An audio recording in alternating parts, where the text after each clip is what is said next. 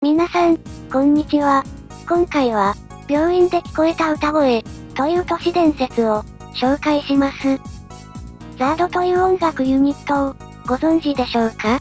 ザードの、負けないで、を聞いたことがある人は世代を、問わず大勢いらっしゃるでしょう。しかし、残念なことにボーカルの坂井泉さんは、2007年に亡くなってしまいました。ネットでも悲しむ人が大勢いましたが、それと同時に、奇妙なコピペが流行り出しました。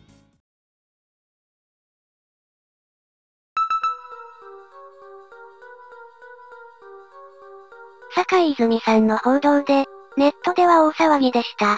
その騒ぎの中で、このような話があります。2007年、5月26日の早朝、病院の裏でザードの歌が、聞こえた、という書き込みがありました。場所は、慶応義塾大学病院。坂井泉さんが入院していた病院と、一致しています。また、死因とされているのはスロープからの、転落事故でしたが、事故の推定時刻は5時40分です。歌声が聞こえたという書き込みは、ちょうど5時頃。まさか、歌っていたのは坂井泉さんだったのでしょうか？当然、事故が報道される前の書き込みなので、嘘をついているというのは、ありえない話です。まだ死因がはっきりしていない時に、広まってしまったので、自殺を疑う人まで出てくる始末でした。さて、このコピペ、本当にあったのでしょうか？詳しく調べてみましょう。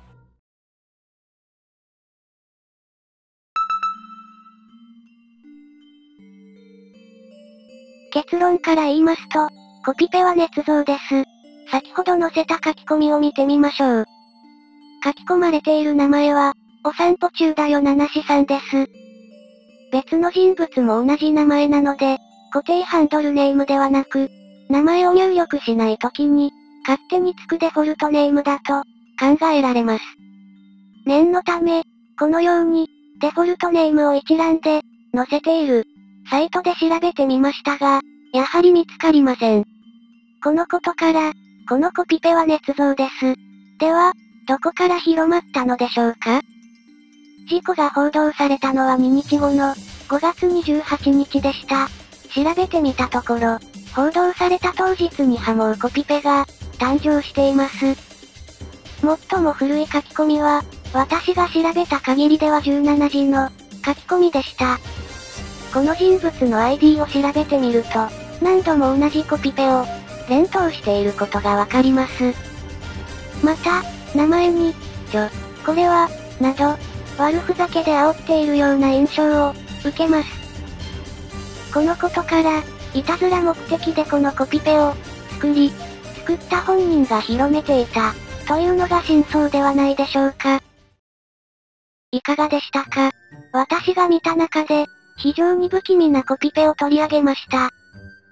しかし、真相は、ただのいたずらだったようです。今でもネットに貼られ続けているほど、有名になっていますが、都市伝説は、このように作られていくのかもしれませんね。